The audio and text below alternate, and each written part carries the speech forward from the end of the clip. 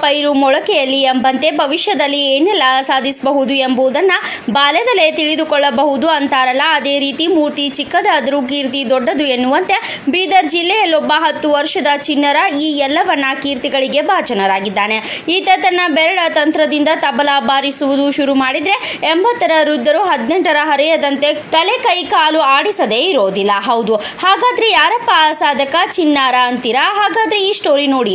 ಕಲ್ಯಾಣ ಕರ್ನಾಟಕದ ಗಡಿ ಜಿಲ್ಲೆ ಬೀದರ್ಗೆ ಹೊಂದಿಕೊಂಡ ಕೋಳಾರ ಗ್ರಾಮದ ರಮೇಶ್ ಇವರ ಸುಪುತ್ರ, ಸದ್ಯ ಬೀದರ್ ಕೇಂದ್ರೀಯ ವಿದ್ಯಾಲಯದಲ್ಲಿ ಐದನೇ ತರಗತಿ ಓದುತ್ತಿರುವ ರೋಷನ್ ಕೊಳಾರ್ಕರ್ ಓದಿನಂತೆ ಸಂಗೀತದಲ್ಲೂ ವಿಶೇಷ ಆಸಕ್ತಿ ಇರುವುದನ್ನು ಗಮನಿಸಿ, ತಂದೆ ರಮೇಶ್ ಕೊಳಾರ್ಕರ್, ಮಹಾರಾಷ್ಟ್ರದ ಪುಣೆಯ ತಾಲಯೋಗಿ ಪಂಡಿತ ಸುರೇಶ್ ತವಳ್ಕರ್ ಅವರ ತಬಲಾ ಶಾಸ್ತ್ರೀಯ ಅಭ್ಯಾಸ ಮಾಡಿಸಿದ್ದಾರೆ.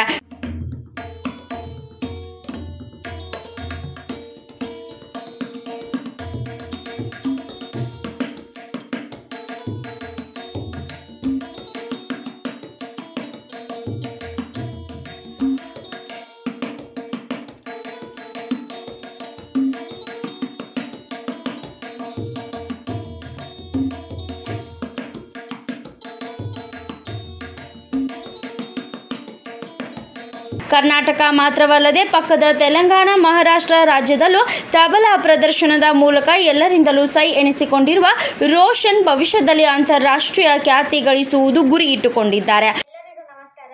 ನನ್ನ ಹೆಸರು ರೋಷನ್ ರಮೇಶ್ ಕೊಳಾರ್ಕರ್ ಅಂತ. ನಾನು ಹತ್ತು ವರ್ಷನ ಹತ್ತು ವರ್ಷನ ಆಗಿದ್ದೀನಿ ನಾನು ತಾಲಿ ಯೋಗಿ ಪಂಡಿತ್ ಸುರೇಶ್ ತಳವಾಡ್ತವ್ರ ಅವ್ರ ಬಳಿ ತಬಲಾ ಕಲಿತಿದ್ದೀನಿ. ನನಗೆ ಒಂಬತ್ತು ಪ್ರಶಸ್ತಿ ಸಿಕ್ಕಿದೆ ಸಿಕ್ಕಿದ್ದೇವೆ. ಮತ್ತು ತಬಲಾ ನುಡಿಸಿದ್ದೀನಿ ಸಾಥಿನೂ ಮಾಡಿದ್ದೀನಿ ಡ್ಯಾನ್ ಜೊತೆ. ಸೋಲುನು ಬಾರಿಸಿದ್ದೀನಿ ಮಗನ ಕಲಾಸಕ್ತಿಗೆ ಬೆನ್ನೆಲುಬಾಗಿ ನಿಂತ ರಮೇಶ್ ಕೋಳ್ಕರ್ ಹೀಗೆ ಹೇಳುತ್ತಾರೆ. ನೋಡೋಣ ಬನ್ನಿ. ಎಲ್ಲರಿಗೂ ನನ್ನ ನಮಸ್ಕಾರ. ನನ್ನ ಹೆಸರು ರಮೇಶ್ ಕೋಳರ್ ಅಂತ ಹೇಳಿ ನನ್ನ ಮಗ ತಬಲ ನುಡಿಸ್ತಾ ಇದ್ದಾನೆ ಹತ್ತು ವರ್ಷದವಿದ್ದಾನೆ ಪಂಡಿತ್ ತಾಲಿಯೋಗಿ ಸುರೇಶ್ ತಳವಳ್ಕರ್ ಅವ್ರ ಹತ್ರ ನಾನು ಕಲೀಲಿಕ್ಕೆ ಹಾಕಿದ್ದೀನಿ. ನನಗೆ ತುಂಬ ಖುಷಿ ಆಗ್ತಾ ಇದೆ.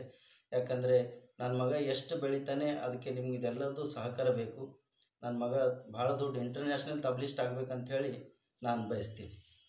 Bureau report Shashikant Bagoji, Bharat Vaibhav, news Bidar.